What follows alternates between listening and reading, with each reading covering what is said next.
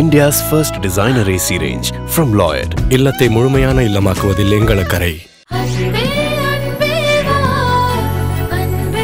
வா இந்த கேஸ்ல ஏதாவது டெவலப் பண்ண வந்தா உங்களை கூப்பிடுறேன்னு சொல்லியிருக்கேன்ல.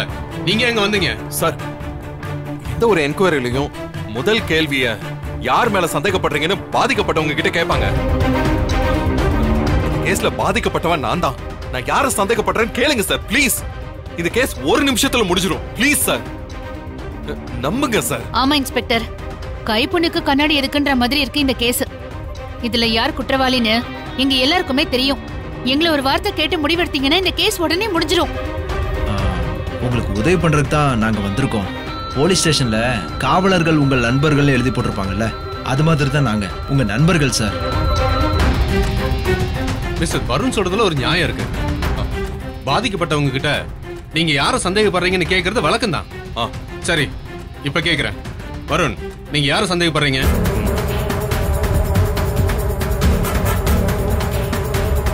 சொல்லு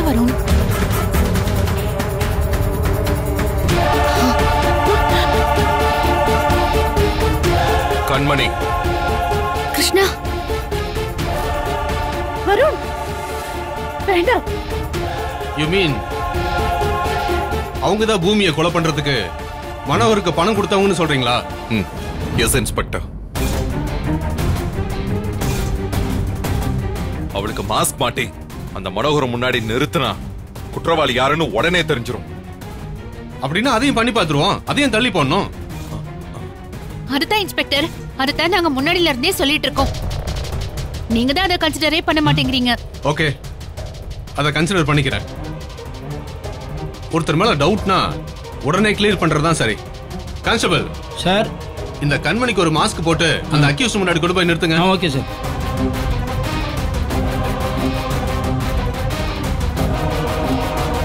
சொல்றேன்.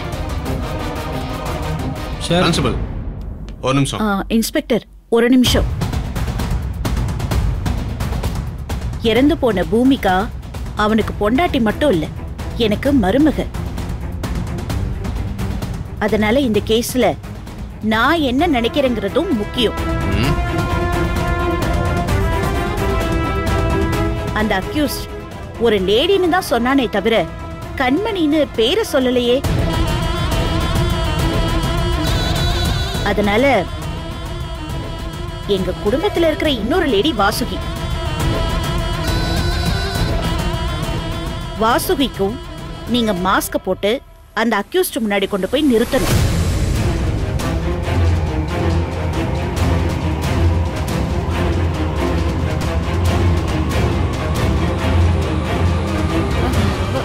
வருண் என்ன வருண்?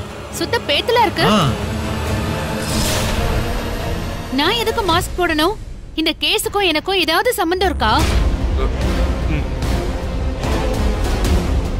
இன்ஃபேக்ட் நம்ம எல்லாருமே பாதிக்கப்பட்டவங்க.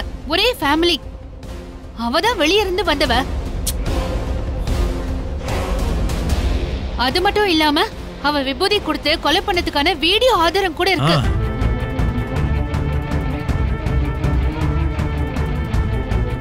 அப்படி இருக்கும்போது எதுக்கு என்ன மாஸ்க் போட சொல்றீங்க?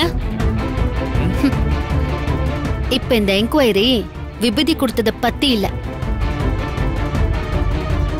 ரவுடிக்கு பணத்தை கொடுத்து கொலை பண்ண சொன்னத பத்தி. நான் பணம் கொடுத்ததா வீடியோ ஆதாரம் எதுவும் இல்லையே? இன்ஸ்பெக்டர் ரெண்டு பேருக்கும் மாஸ்க் போட்டு கொண்டு போய் நிறுத்துறதா இருந்தா நான் இதுக்கு சம்மதிக்கிறேன். இல்லனா. நான் என் லாயரை வர வச்சுக்கிறேன். அப்- அருண். நீ ஏன் பயப்படுற? ஐயோ மனோகர் யார் பணம் கொடுத்தாங்களோ அவங்கள தானே காட்ட போறான்? உனக்கும் இதுக்கும் சம்மந்தம் இல்லைன்னு நம்ம எல்லாருக்குமே தெரியுமே ஆ? அப்புறம் எதுக்கு நீ பதட்டப்படணும்? ஜஸ்ட் மாஸ்க் போட்டு நிக்க போற. அவ்வளவுதானே?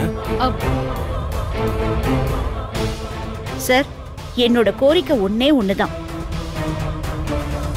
கண்மணி எங்க வீட்டுக்கு வாழ வந்த பொண்ணு. அவளை தனியா குற்றவாளியா நிறுத்துறதுக்கு ஏன் மனசாட்சி சம்மதிக்கல? என் வீட்டு பொண்ணையும் சேர்த்து நிப்பாட்டுங்க. நான் சம்மதிக்கிறேன். நாளைக்கு ஊர் உலகம் என்ன தப்பா சொல்லக்கூடாது. நோ இன்ஸ்பெக்டர் இதுக்கெல்லாம் என்னால சம்மதிக்க முடியாது. ஆமா இன்ஸ்பெக்டர் என் ஒய்ஃபு அந்த அக்யூஸ்ட் முன்னாடி போய் நிக்க மாட்டாங்க. ஆ? இது அவங்க பிரஸ்டீஜ் சம்பந்தப்பட்ட விஷயம். நானும் சம்மதிக்க மாட்டேன்? என்ன பெரிய பிரஸ்டீஜ் மாதவன்?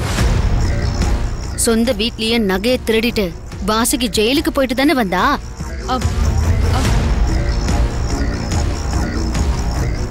ஏன்? இந்த அக்யூஸ்ட் முன்னாடிலாம் வந்து நிக்க மாட்டாளா? மடியில கனம் இல்லாட்டி எதுக்கு பயப்படணும்? வாசிக்கு சம்மதிக்கலன்னா நானும் சம்மதிக்க மாட்டேன் சார். நானும் என் லாயரை வர வச்சுக்கிறேன். ஏன் ஆளாளுக்கு இப்படி பண்ணிட்டு இருக்கீங்க? இது போலீஸ் ஸ்டேஷனா உங்க வீடா அது ஒவ்வொருத்தரும் இப்படி பிடிவாதம் பிடிச்சா எப்படி என்கொயரி பண்றது? வருண். சார். இதுக்கு தான் உங்க யாரையும் நான் உள்ள விட வேணாம்னு சொன்னேன். நீங்க வந்து என்கொயரியை டிஸ்டர்ப் பண்ணிட்டு இருக்கீங்க. சார். அக்கா நீ மாஸ்க் போட்டு போய் நிக்கிறதுல உனக்கு என்ன பிரச்சனை? என்ன? அவன் குற்றவாளி யாரோ அவங்கள தானே கை காட்ட போறான். இதுல ஏன் தேவையில்லாம பிரஸ்டீஜ் வெங்காயம் கத்திரிக்கான்னு எதை எதையோ கொண்டு வர? வருண்? சரி நீ முதல்ல போய் மாஸ்க் போடு. வருண்.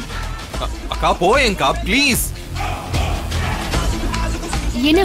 வருண். மேடம். கான்ஸ்டபிள் இவங்களுக்கு ஒரு. மாஸ்க் கொடுங்க. அந்த மாஸ்க் எடுங்க. மேடம்.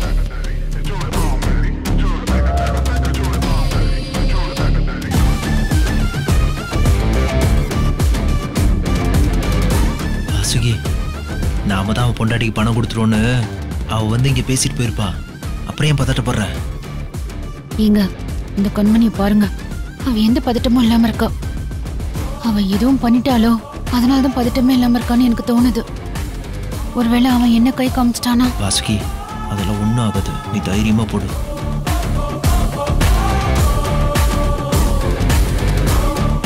அக்கா மாஸ்க் போட போறியா இல்லையா அக்கா?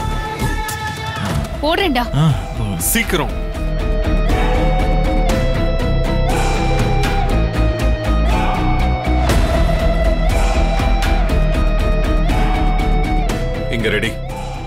வாசுகி ரெடி. கண்மணி நீயும் மாஸ்க் போடு. சரிங்க அத்தை.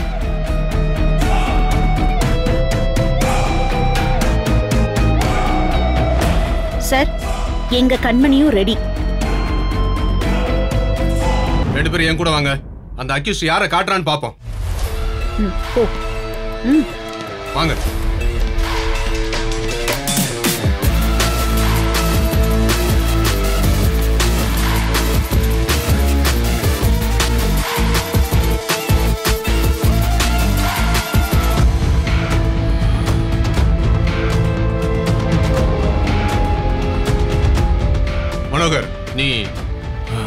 பூமியை கொலை பண்றதுக்கு ஒரு லேடி தான் பணம் கொடுத்தாங்கன்னு சொன்னல வருண் குடும்பத்துல நீ சொல்ற வயசுல ரெண்டு லேடி இருக்காங்க.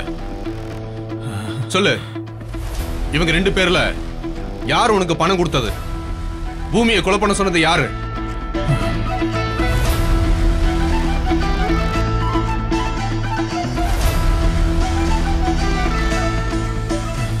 சொல்றா.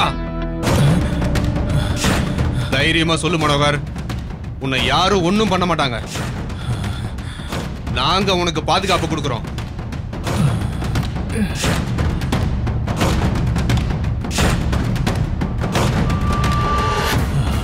மனோகர். எதுக்கும் பயப்பட வேண்டாம். உன்னை அப்ரூவர் ஆக்கி இந்த கேஸ்ல இருந்து வெளியில வர்றதுக்கு நான் ஏற்பாடு பண்றேன். பூமியை கொலை பண்றதுக்கு உன்னை பிக்ஸ் பண்ணதுக்கு யாரு? உனக்கு பணம் கொடுத்தது யாரு? அதை சொல்லு போதும்.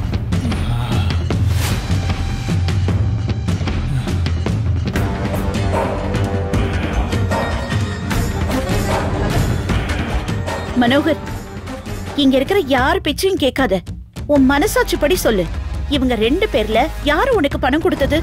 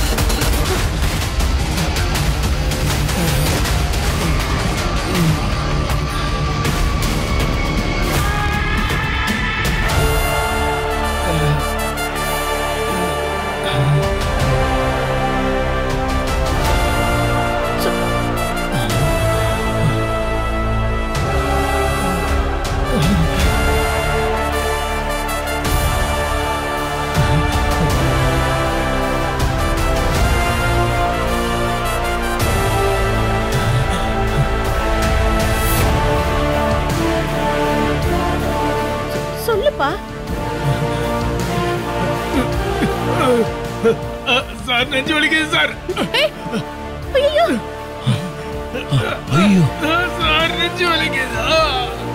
மனோகர் மனோகர் என்ன சார், ரொம்ப வேக்கிறத பார்த்தா ஹார்ட் அட்டாக் மாதிரி தெரியும் என்னால சார். மருந்து கொடுங்க சார். என்னால முடியல சார். ரொம்ப வலிக்குது சார்.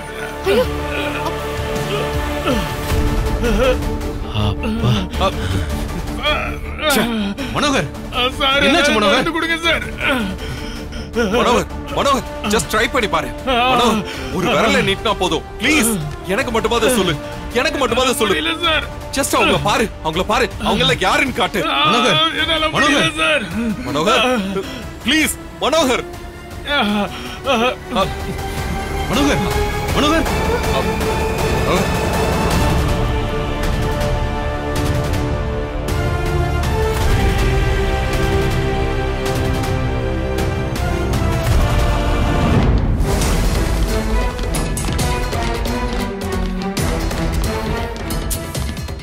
என்ன sir sorry mister Varun very sorry இன்வெஸ்டிகேஷன்லாம் நல்லா தான் போயிட்டு இருந்துச்சு அன்பார்ச்சுனேட்லி மிஸ் ஆயிடுச்சு. இன்னும் ஒரு நிமிஷம். அந்த அக்யூஸ்ட் நல்லா இருந்திருந்தானா இந்த கேஸ்ல முக்கியமான டேர்னிங் பாயிண்ட் கிடைச்சிருக்கும். கேஸ் இங்கேயே முடிஞ்சிருக்கும். ஏதோ ஒரு துரதிர்ஷ்டம் நம்மள துரத்தி துரத்தி அடிக்குது. தப்பு பண்ணவங்கள தப்பிக்க வச்சுக்கிட்டே இருக்குது. ஓகே வருண் நான் ஹாஸ்பிட்டல் போறேன். நான் போய் கையெழுத்து போட்டாதான் அங்க ட்ரீட்மெண்ட் ப்ரொசீஜரே ஆரம்பிப்பாங்க. நான் வரேன். சரிங்க சார்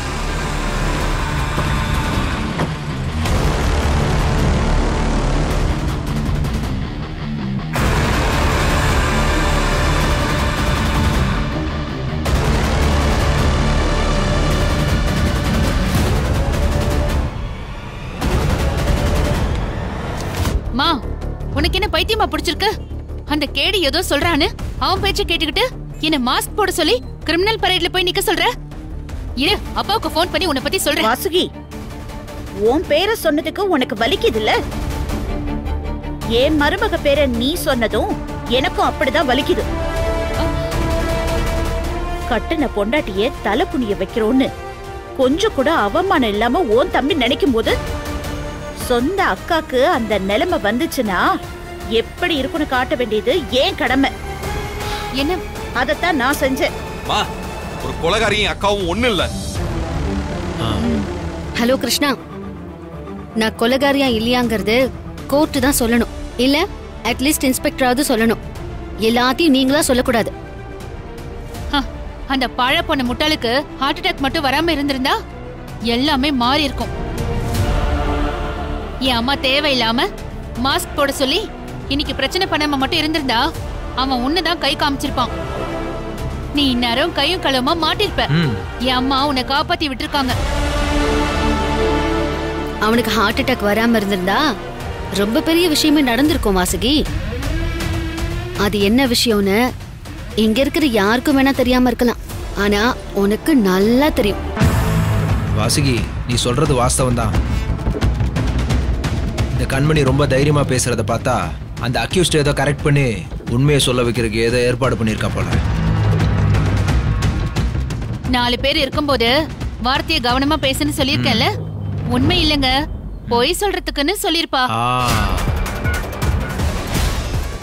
ஐயோ உளறிட்டேன் உளறிட்டேன்.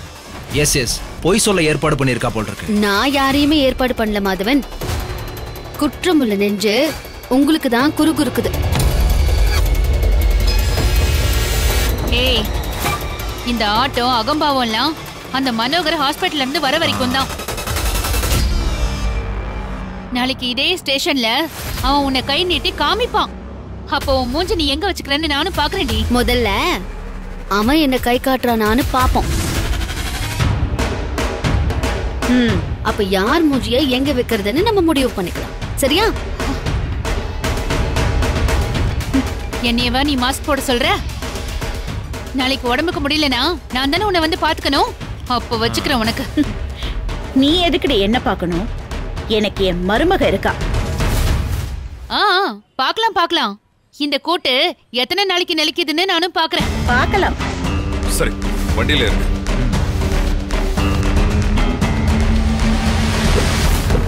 இவ இப்படியே பேசிட்டு இருக்க வேண்டியதுதான்.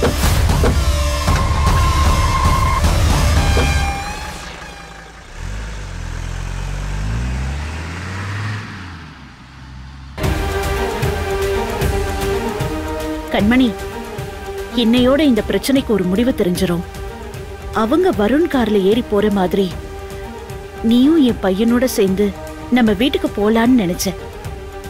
கடைசி நிமிஷத்துல இப்படி ஆயிடுச்சே. ஆமா அத்தை. இந்த பூமி கேஸ்ல நான் கிருஷ்ணாவோட போராடுறத விட என் விதியோட தான் அதிகமா போராட வேண்டியதா இருக்கு.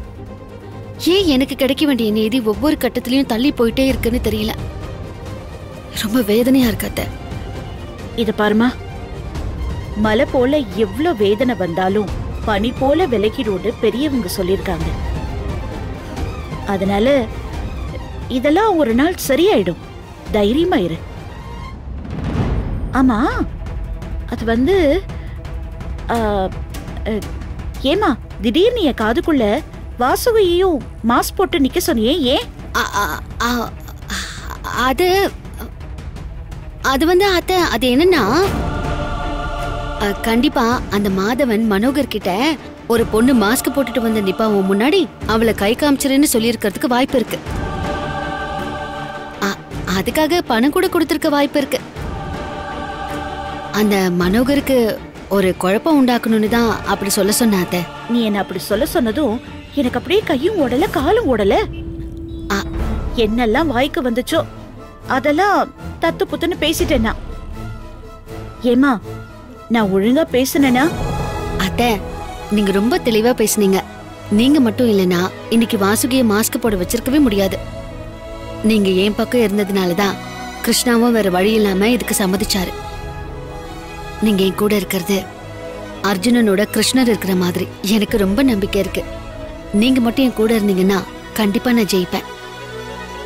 அதெல்லாம் நீ ஒண்ணும் கவலைப்படாத. நான் இப்போ உன் கூட தான் இருப்பேன். சரி சரி வா. நம்ம ஹாஸ்பிட்டலுக்கு போய் அங்க என்ன நடக்குதுன்னு பார்க்கலாம். ஆட்டோவை கூப்பிடு. அதுவும் அங்க இருக்கு. ஆட்டோனா? வாங்க.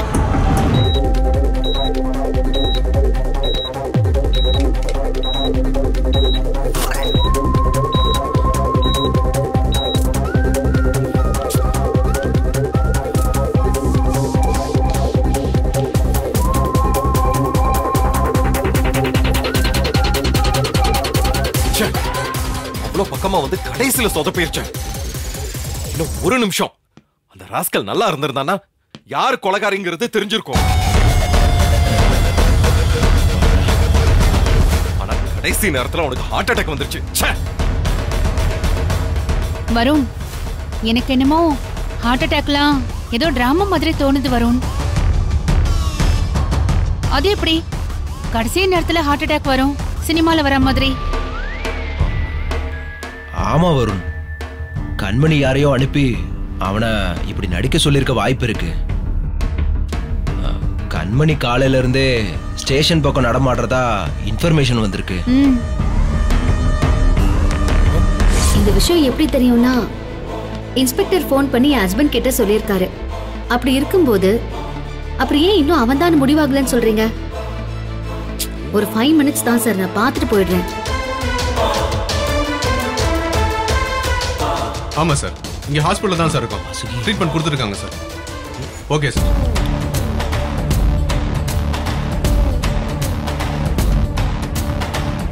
நான் கூப்பிடுறேன் சார். எக்ஸ்கியூஸ் மீ சார் சொல்லுங்க வருண். சொல்லுங்க வருண் என்ன விஷயம்? சார் நான் கேட்குறேன்னு தப்பா நினைக்காதீங்க. ம்.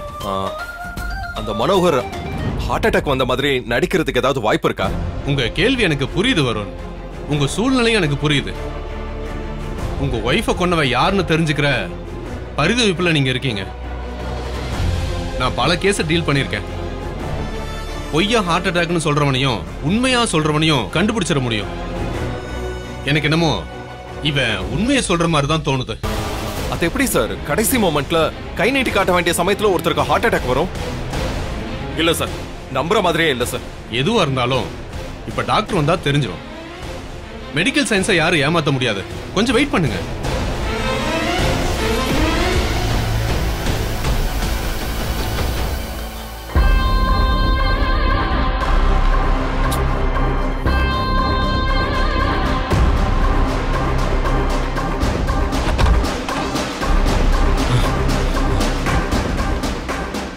டாக்டர் அக்கிஸ்டோட நிலைமை என்ன? மைல்டான ஹார்ட் அட்டாக் ஏற்பட்டிருக்கிறது உண்மைதான் இன்ஸ்பெக்டர்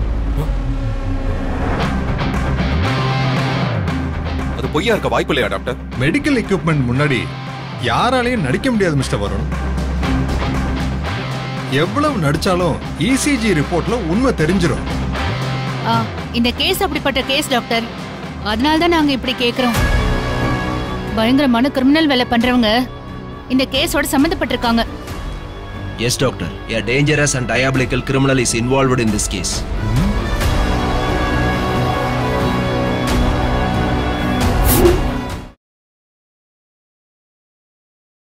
இந்த வீடியோ உங்களுக்கு பிடிச்சிருந்தா லைக் பண்ணுங்க கமெண்ட் பண்ணுங்க ஷேர் பண்ணுங்க அண்ட் மறக்காம சரிகமா டிவி ஷோஸ் தமிழுக்கு சப்ஸ்கிரைப் பண்ணுங்க.